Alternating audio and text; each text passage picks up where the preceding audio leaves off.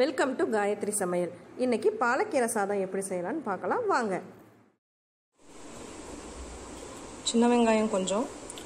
பூண்டு ஒரு பத்து பல் வரமிளகா ஒரு அஞ்சு ஆறு மிளகாய் ரெண்டு தக்காளி. ஒரு ஸ்பூன் அளவு சீரகம். வெந்தயம் கொஞ்சமாக பெருங்காயம். பெருங்காய தூளாகவும் யூஸ் பண்ணிக்கலாம். நான் கட்டி பெருங்காயம் யூஸ் பண்ணுறேன் ஒரு கப்பு பருப்பு கழுவி எடுத்துட்ருக்கேன் அதோட இப்போ நம்ம பார்த்த பொருட்கள் எல்லாமே சேர்க்கணும்.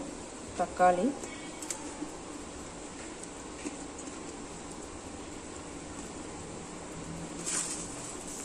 வரமிளகாய்.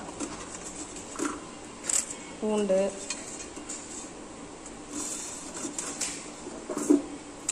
சின்ன வெங்காயம்.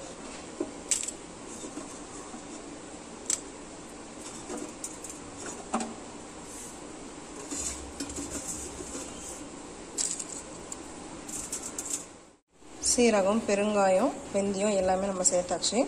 இதோட ஒரு அரை ஸ்பூன் அளவுக்கு மஞ்சத்தூள் ஆட் பண்ணிக்கிறேன். தேவையான அளவு வந்து தண்ணி ஆட் பண்ணிக்கிறேன். இப்போ இதை க்ளோஸ் பண்ணி ஒரு மூணு விசில் விடுறேன். பருப்பு நல்லா குழையிற அளவுக்கு வேக வச்சு எடுத்துக்கணும். இப்போ பாருங்கள் பருப்பு நல்லா குழைய வெந்திருக்கு. இந்த பருப்போட பாலக்கீரையை நம்ம சேர்த்திக்க போகிறோம் பாலக்கீரை ரெண்டு கட்டு வாங்கி நல்லா க்ளீன் பண்ணிவிட்டு சின்ன சின்னதாக கட் பண்ணி வச்சுருக்கேன்.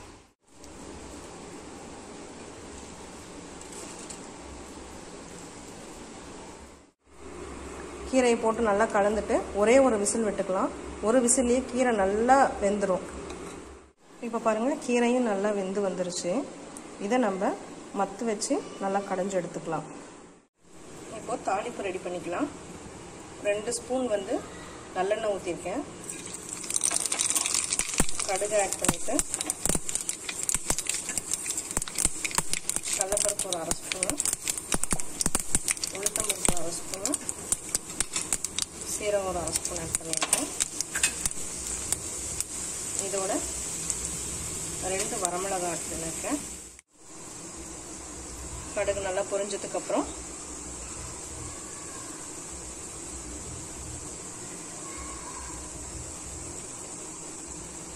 கருவேப்பிலை கொஞ்சம் ஆட் பண்ணிக்கிறேன்.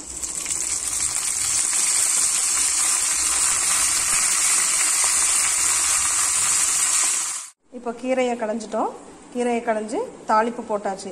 இப்போ தான் தேவையான அளவு நம்ம உப்பு ஆட் பண்ணிக்க போகிறோம் எவ்வளோ உப்பு தேவைப்படுதோ அந்த அளவுக்கு நம்ம ஆட் பண்ணிக்கலாம். சாதம் வேக வச்சு எடுத்து வச்சுருக்கோம். ஒரு கப் சாதத்துக்கு ஒரு கப் இந்த கீரை கடைஞ்சதை நம்ம எடுத்துக்கலாம். இப்போது சாதம் போட்டு நம்ம கிளறிக்கலாம்.